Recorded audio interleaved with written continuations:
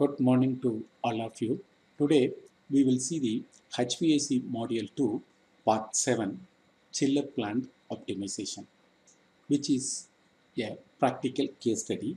We studied six hotel in Bangalore. Now we will see what we are concluding through this study. Introduction.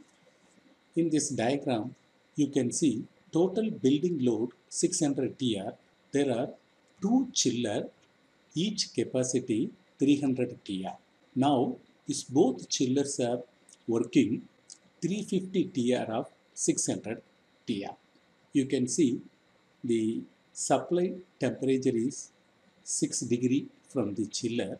The inlet primary pump chilled water temperature is 12 degree Celsius. The GPM is designed correctly, which is 1 TR 2.4 GPM. 600 TR, it is 1440 GPM. The what are the problem? Why this plant is behaving like this? The chiller plant with low delta T syndrome arises due to the following reason. The point number one, air handling unit temperature set points are below the designed value. What do you mean below the designed value? Now, here we want 6 degree supply, but our AHU set point, if we kept as 12 degree or 10 degree, it never achieved. So we have to keep the digital thermostat 24 plus or minus. Then point number two, the variable frequency drive VFD of AHU operate in a fixed mode. This is happening in most of the hotel. The VFD available for the AHU. Whichever AHU having the motor more than 5 kilowatt designed as VFD driven. However, it is not integrated properly so that the VFD working in a fixed mode. Point number three, peripheral system components not designed for the same temperature range. For example, high side, low side, both design should match. Otherwise, this kind of low delta T syndrome arises. Fifth point, improper selection of coil and control valves. For this supply and return temperature, the supply is 6 degree, return is 12 degree Celsius. For this temperature, the coil is supposed to have 4 row coils, it should be 4 row coils. Otherwise, if it is a 3 row or 2 row, then this will lead to the low delta T syndrome. Choked cooling coil as well as improper water balancing also lead to this kind of situation in the platform. We will see the major challenges in the. Low delta T syndrome happening in many of the hotel. What are the major reasons? The major challenges in several large capacity chiller plant with primary and secondary pumping system is the low temperature differences syndrome. This occurs when the appropriate chilled water temperature range. After mixing with the return water, the temperature of the chilled water supplied to the building increases. As we see in earlier diagram, the primary pump force the chilled water inside the chiller, then it's come. Whereas the return water directly comes to the delivery through the decoupler. Control valves remain completely open owing to high temperature of supply chilled water. Energy consumption from secondary water pumping system increases. Chiller operation continue in the low delta T syndrome condition. Here we will see what is the condenser approach and evaporator approach. These two terms are very very important. Higher small temperature difference of chiller heat exchangers. The performance of the chiller heat exchanger, including the evaporators and condenser, depends on the small temperature differences. The value of the approach is determined by the difference between the refrigerant saturation temperature and living water temperature. You can see here the heat of condensation, the condenser approach, the T1 29 degree Celsius, T2 35 degree Celsius. Saturation condenser temperature of the gas which is Freon R22 at 187 psi 36 degree Celsius. So you can see the condenser approach 36 minus 35. So this case condenser approach is 1. Typically chiller heat exchangers are designed for an approach of 2.2 degree Celsius. A higher approach value increases the load of the chiller and is caused by the following problems. Formation of fouling in internal tubes, inadequate water flow rate, improper flow of refrigerant inside the tube, shortage of refrigerant gas. Below graph, you can see the heat of evaporation. T1 12 degrees Celsius, T2 6 degrees Celsius. So what do you mean evaporator approach? Difference between saturation evaporator temperature of R22 at pressure section press 71.5 psi which is 5 degrees Celsius. So if you see the chilled water living temperature 6 whereas your saturation evaporator temperature is 5. So it is 1. Higher temperature of condenser water entering the chiller. You can see the graph in x-axis percentage of the load in TR, the y-axis chiller efficiency IKW per TR. So different condenser water entering is given in the graph as different color. The green 18 degree Celsius, blue 21 degree, yellow 23 degree Celsius, so on. It is critical to supply condenser water at the right temperature for optimal chiller performance and energy consumption. However, in most chiller plants, the temperature of the condenser water entering the system is higher than normal owing to poor maintenance or selection of the cooling tower. So, it starts with the design itself. The poor maintenance can be corrected through the operation. Improper sizing of the cooling tower. This also start with the design. In case if it happen during the operation, it can be enlarged. You can increase the size of the cooling tower or you can increase the fins. Overall, even you can increase the nozzle also. Incorrect size of chiller auxiliary water pump. When installing a chiller auxiliary pump such as chilled water pumps and condenser water pump, the size are overestimated to allow for safety factor. However, this result in a mismatch between the chiller design parameter. If the pumps deliver a higher flow rate than expected, then the flow gets throttled in a chiller and the balancing valve is forced to maintain the required flow.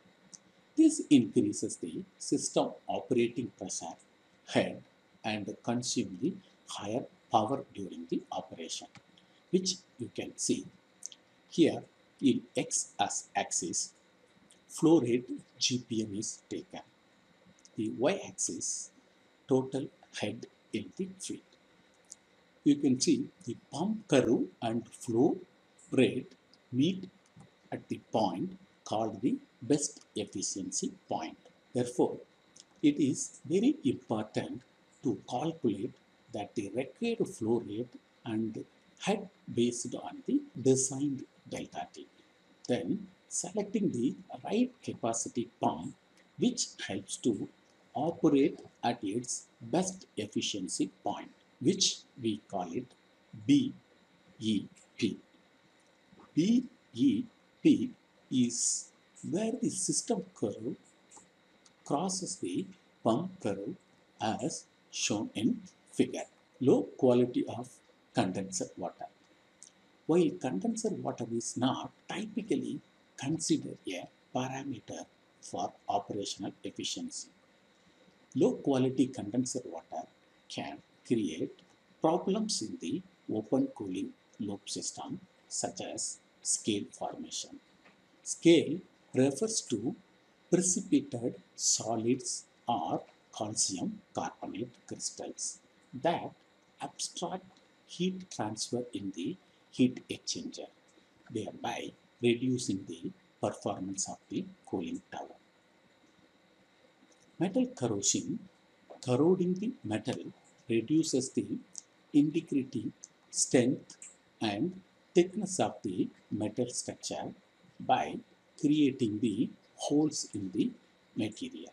Biological fouling formation, this refers to the growth of organisms in protected environments such as internal tubes, which is difficult to remove.